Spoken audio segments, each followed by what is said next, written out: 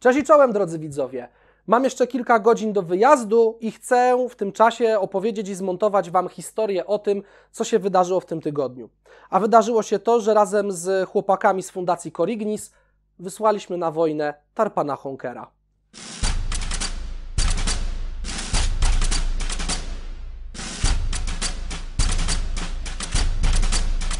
Zacznijmy od początku. W 2020 roku dodałem na kanale materiał o polskich wojskowych samochodach terenowych Tarpan Honker. Kto z Was oglądał, ten dobrze już wie, jakie mam zdanie na ten temat, na temat tej konstrukcji. Kto nie wie, to link Wam zostawię też w opisie, żeby sobie odświeżyć. W każdym razie uważam, że to nie było udane auto. Tamtego wyremontowałem, poszedł do kolegi, który sobie go zarejestrował na żółte, używa go sobie jako kampera, ale sam zakładam, że nigdy takowego tarpana już nie kupię, nie będę naprawiał dla nikogo, nie będę przy tych autach w ogóle chodził, robił i tak dalej, a już na pewno od początku wojny uważałem, że na pewno nie będę próbował kupić czegoś takiego, żeby wysłać Ukraińcom, bo raczej to będzie taka trochę, wiecie, niedźwiedzia przysługa. Zgłosili się do nas niedawno Ukraińcy, którzy znają się z jednym z naszych wolontariuszy, Filipem. No i do niego pisali, że Filip, pomóż nam, mamy odłożone pieniądze, chcemy kupić w Polsce samochód, może coś nam doradzisz, pomożesz, pomożesz przerzucić pod granicę. Prosta robota. Powiedziałem mu, dawaj, wchodzimy w to, zrobimy. To jest taka misja na dwa dni maksymalnie. No i bardzo się myliłem. No i przeglądamy te różne auta, myślimy, może jakiś Volkswagen T4, może Fiat Ducato, ale oni zobaczyli w ogłoszeniach Tarpana Honkera z lat 90.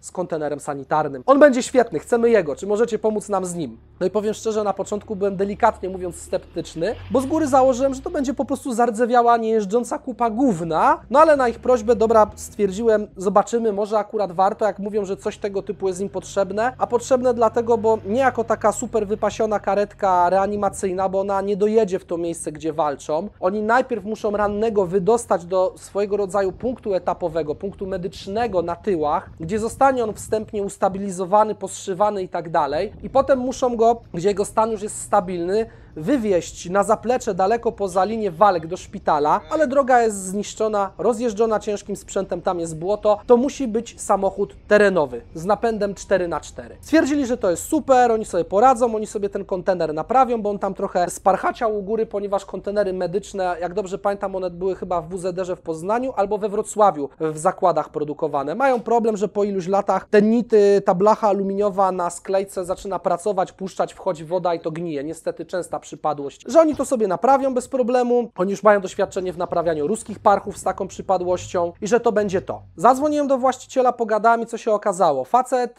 zadbał o to, żeby samochód jeździł. Co prawda on nim jeździł tylko na zloty do Bornego Sulinowa i zostało po tym mnóstwo naklejek na szybie. Na pewno nie podejrzewał, że ten samochód raczej skończy swój żywot w miejscu, do którego został zaprojektowany i przewidziany, czyli na polu bitwy. Jeździł sobie do tego Bornego, no i trochę go ponaprawiał, albo to wsadził trochę lepsze opony, a to coś poprawił w zawieszeniu, coś zrobił z hamulcami.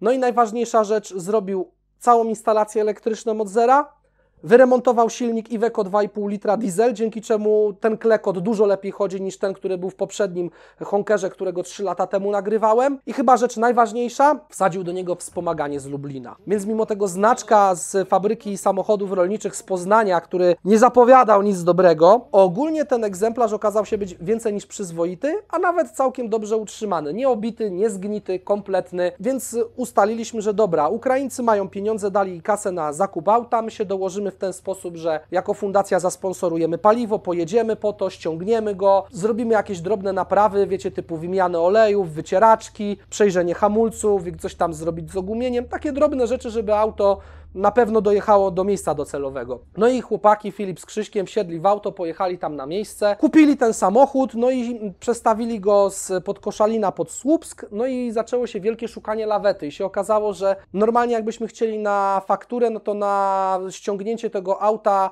autolawetą tutaj do nas, żeby je ogarnąć i potem już osobno e, na granicę, to samo przyjechanie tutaj 520 km to byłoby między 3 a 4 tysiące złotych.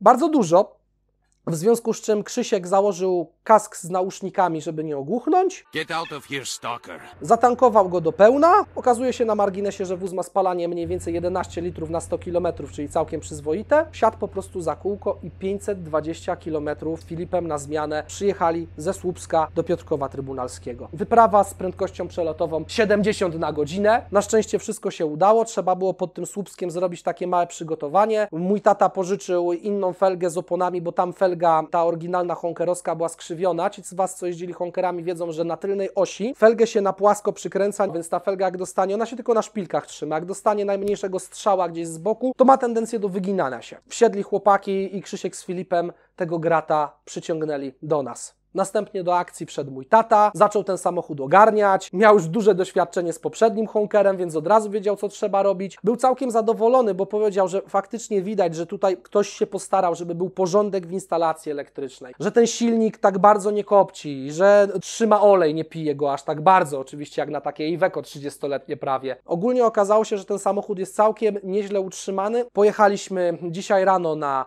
stację benzynową, zatankowałem go, tata pomógł go przerzucić do naszego magazynu w Piotrkowie Trybunalskim. Dary te od Was pojechały innymi transportami, część jeszcze będzie jutro jechać ze mną, a dzisiaj też mieliśmy od sponsora całą masę różnych rzeczy medycznych. Kleszcze te do przytrzymywania bebechów, jak się operacje robi, różne jakieś pojemniki, próbniki i tak dalej, rzeczy, które są przydatne w medycynie. Więc e, ten honker jak już przyjechał, jak już został sprawdzony, przygotowany, zatankowany, jeszcze Filip skoczył na stację, kupił dwie bańki, jeszcze w bańkę dolaliśmy im ropy na wszelki wypadek, bo tak wyliczyliśmy, że na pełnym baku do granicy mniej więcej dojedzie, ale żeby miał jeszcze kawałek za, żeby do tych warsztatów się dostał. Poza tym też się okazało, że co jest w ogóle typową przypadłością tych samochodów. Są dwa zbiorniki, ale oczywiście tylko jeden działa, drugi nie. Ale tam e, chłopaki dostali korek, inne te pierdoły, więc oni już muszą sami sobie wyczyścić i poradzić z tym. Na jednym zbiorniku musi dojechać. Wóz został ogarnięty jako tako i żeby nie było smutno, tą wielką pakę załadowaliśmy aż po czubek pudłami z różnym wyposażeniem medycznym. Część jest dla frontowców, część jest dla szpitali cywilnych, wojskowych ogółem. Myślę, że z jakieś pół tony jest tam tego wepchnięte, bo samochód aż przysiadł. Jak już cały tarpan był spakowany, tam jeszcze Filip z pomocą mojego taty namalował nasze fundacyjne korygnisowe serduszka, wypisaliśmy wszystkie dokumenty, przyjechali chłopaki z Ukrainy, nagrali, pokazali chłopakom z brygady, że takie coś, jest taki sprzęt, pozdrowienia dostaliśmy, ogółem wiecie, fajna sprawa, bo widać było na telefonie, że to, że oni naprawdę są zachwyceni, że będą mieli coś, co jeździ. Wały nie biją, auto się nie trzęsie, opony wyważone, naprawdę okazało się, że super zakup. Jak na Honkera to wręcz jestem w szoku. Jeśli będzie z niego pożytek na wojnie, to bardzo dobrze. Wypakowany cały sprzętem, zapakowany, wsadzony kierowca i pojechał. W momencie, gdy Wam to opowiadam, najprawdopodobniej, gdy Wy to oglądacie, to ta karetka jest już albo w drodze pod Bachmut, albo nawet jest już gdzieś na miejscu, gdzieś tam w warsztacie jest szykowana do akcji. Mam nadzieję, że jak najdłużej posłuży, chociaż szczerze mówiąc, brutalna prawda jest taka, że auta wojskowe na wojnie raczej krótko żyją. Bardzo szybko eliminują je albo usterki mechaniczne, albo wszelkiej maści odłamki powbijane tu i tam po ostrzale artyleryjskim. Ale jeśli chociaż jedno ludzkie życie ten samochód uratuje, to można powiedzieć, że swą życiową misję spełnił, zginął jak wiking może iść do swojej polsko-motoryzacyjnej FSO-sko, FSM-owskiej Walhali. I jak wrócimy, to będziemy myśleć o jakichś następnych działaniach. Oczywiście też dostaniecie z tego wyjazdu relacje.